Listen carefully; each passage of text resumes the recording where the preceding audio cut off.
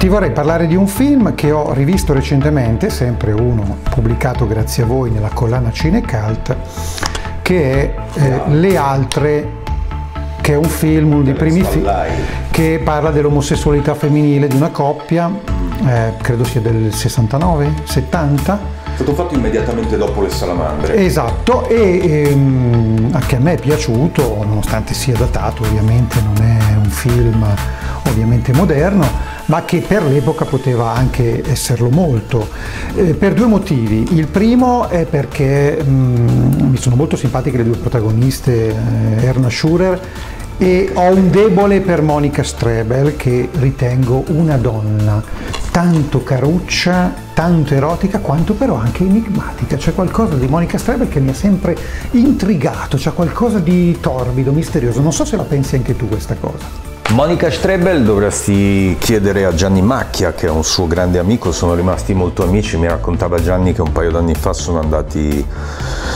a villeggiare in una delle isole greche, lei sta adesso, vive adesso in America e è una, un'attrice abbastanza interessante, svizzera di origine, e, ma ha fatto dei film molto curiosi secondo me.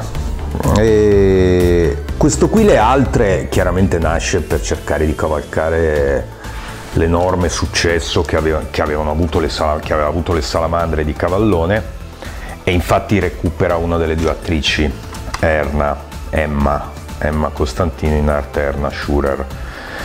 E, mm, è una produzione che ruota intorno a Carlo Maietto, che era l'uomo di, di fidanzato di Erna allora e che già era coinvolto, era stato coinvolto eh, come, come, definiamolo così, produttore delle salamandre, per cui preso atto del successo di quel film che aveva avuto veramente un successo straordinario, hanno detto facciamo, facciamo qualcosa del genere e fecero le altre. Mentre le altre è una rarità perché invece ha circolato poco. Ha circolato pochissimo. Il regista era questo Alessandro Fallai che boh, non si capisce bene iracheno piuttosto che libanese, non ho mai capito bene. Comunque era uno che era venuto in Italia, aveva fatto, all'epoca aveva girato alcuni film.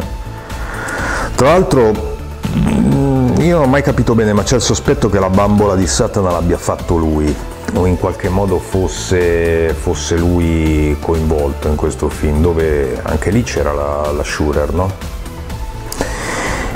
Eh, ma ehm, sì, è un film che... che... Qualche dubbio. La cine... Tecnicamente completamente diverso. La Cinecalt ha tirato fuori questo titolo, che era un titolo perduto e ma appunto è un film, è un film, come si diceva allora, sulle lesbiche. Fondamentalmente lo stesso, lo stesso filone delle salamandre, lo stesso filone anche delle biche, ti ricordi, quello francese, no?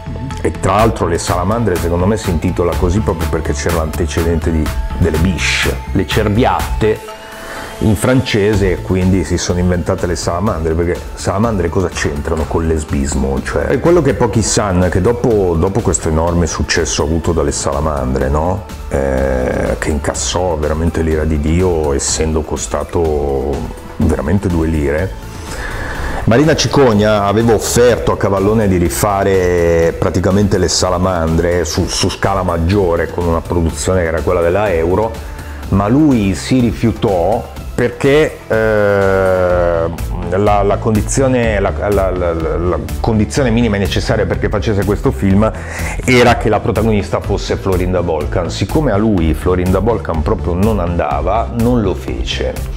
E vennero a cascata tutta un'altra serie di film, ripeto, le altre è, è uno di questi, ma poi se ne fecero anche altri eh, che avevano mh, come tema fondamentale e sostanziale appunto quel, il tema del rapporto, come si diceva allora, del rapporto particolare tra due donne.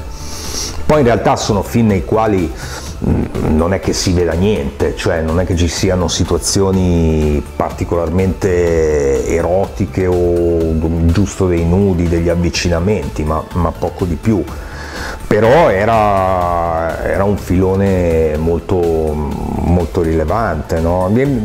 Recentemente ho rivisto un film di, di Filippo Valterratti che si intitola eh, I vizi morbosi di una governante, è possibile?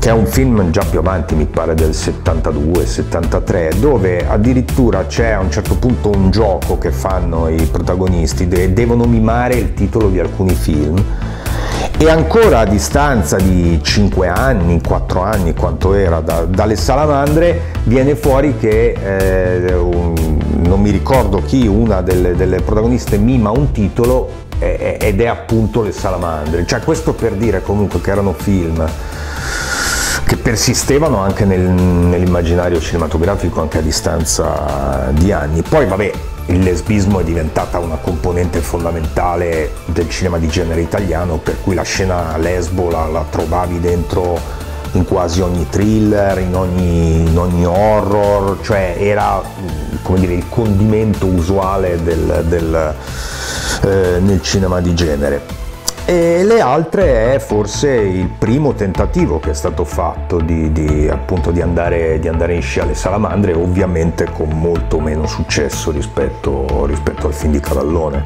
Però è un bel film, è divertente, cioè, qui c'è l'idea in più che le, si mettono in testa le, le, due, le due donne, la Strebel e, la Schurer, di avere un figlio, quindi c'è anche questo tema eh, abbastanza, abbastanza originale per l'epoca.